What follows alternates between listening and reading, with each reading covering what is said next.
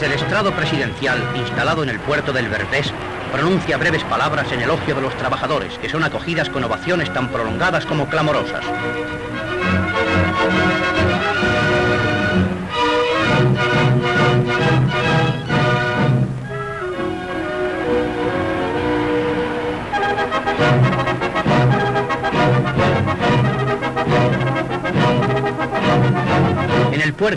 La muchedumbre no se cansa de testimoniar a la ilustre dama argentina su simpatía y afecto.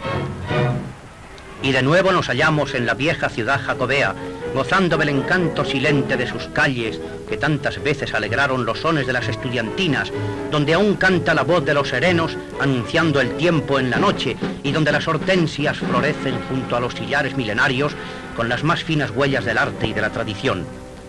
Y procedente de Vigo y de Pontevedra, y acompañada por el ministro del Aire y otras autoridades, doña María Eva llega al aeropuerto de La Bacolla para decir su adiós a Galicia y trasladarse a Zaragoza.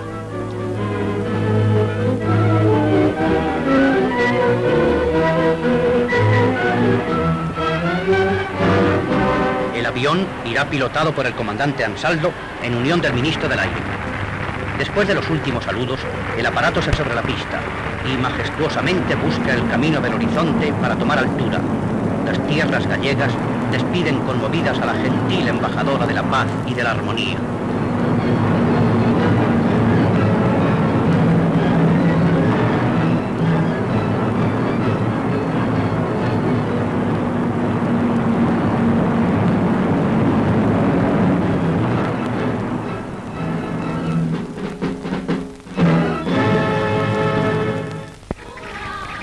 En la llanura que riega el Ebro famoso, limitada en el horizonte por las cumbres del Moncayo, se alza bajo el cielo puro la ciudad de Zaragoza, cuyas arquitecturas se reflejan en el plateado espejo del río.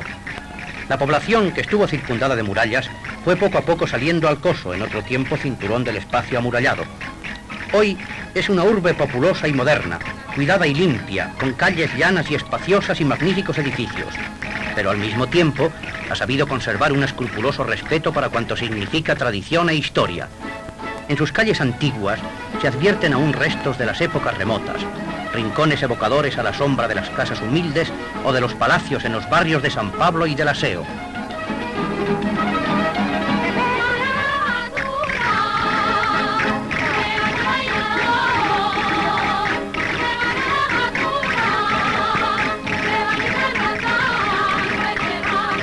En la histórica Puerta del Carmen, monumento nacional cuyas piedras conservan las huellas de la gesta, la esposa del presidente de la República Argentina es recibida por el alcalde de la ciudad y la población en masa. A partir de este instante y en todo el recorrido, no cesarán ya los vítores y aplausos de las gentes de Zaragoza y de todo Aragón en honor de la ilustre visitante.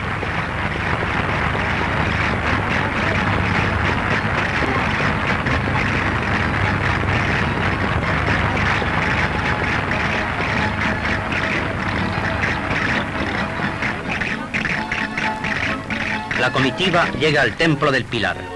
Aquí se contempla el farol de la Hispanidad que pertenece al Rosario de Luces que sale en Zaragoza el 12 de octubre.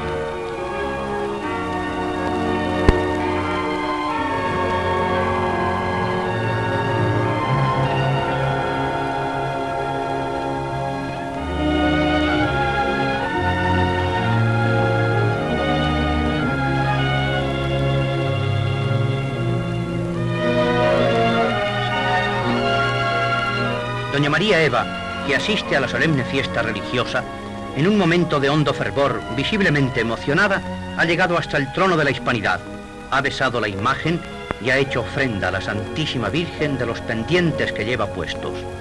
La Virgen luce el manto misionero por primera vez, bordado en oro con el escudo de la provincia y las banderas argentina y española. La ilustre dama siente en el templo la conmovedora grandeza del ambiente aureolado por el resplandor de la fe.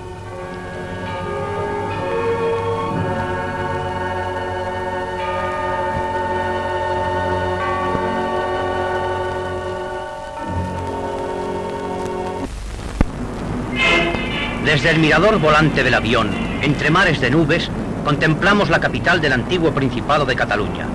Esta es, en el plano vivo de sus calles y de sus plazas, en la dimensión de su amplio perímetro urbano, la ciudad de Barcelona, ciudad industrial y artesana, laboriosa y activa, que reúne al mismo tiempo las atracciones de una urbe populosa y moderna y el encanto de su casco antiguo, de sus monumentos y de sus templos, donde se mantiene latente la presencia de la tradición.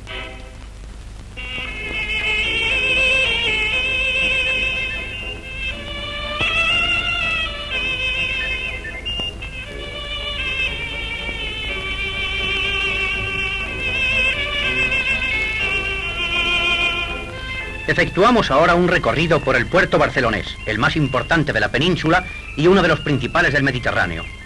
Las populares golondrinas hacen la travesía de los muelles al faro. Los pacientes pescadores muestran aquí su inmóvil estampa, ejemplo de constancia y del buen ánimo que nunca desalienta. El clásico paseo del malecón, que tantas veces escuchó palabras y diálogos de los enamorados haciendo planes para el porvenir.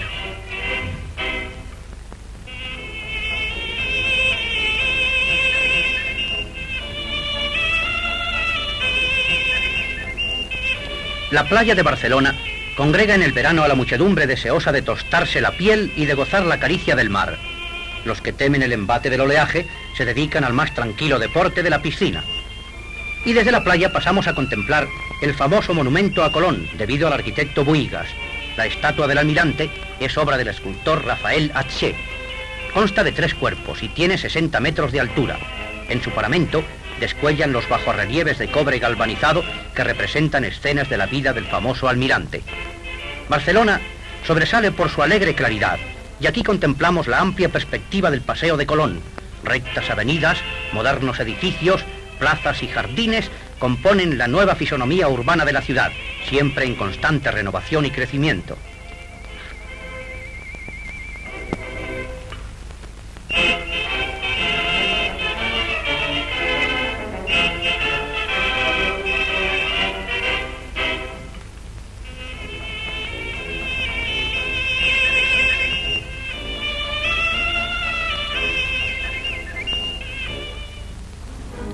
Banderas y gallardetes engalanan el aeropuerto barcelonés del Prat.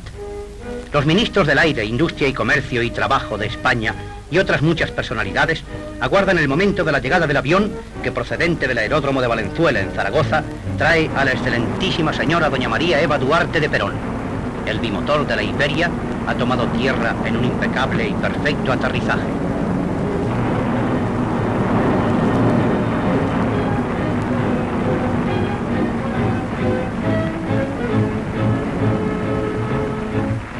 Entre vítores y ovaciones a España y a la Argentina, la ilustre embajadora recibe saludos y cumplimientos. Son los primeros los de la hija y la esposa del jefe del Estado, generalísimo Franco.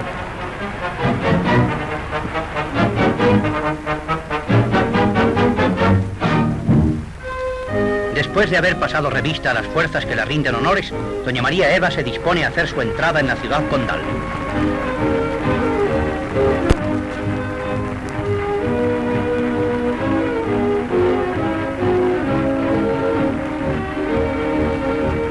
Capital de Cataluña está iluminada en honor de la esposa del presidente argentino, para la cual brillan bombillas y focos que rasgan las sombras de la noche urbana.